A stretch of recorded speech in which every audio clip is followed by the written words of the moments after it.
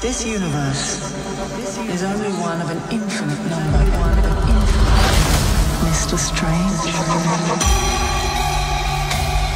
Who are you? In this vast multiverse. Stephen Strange, your reckoning is long overdue.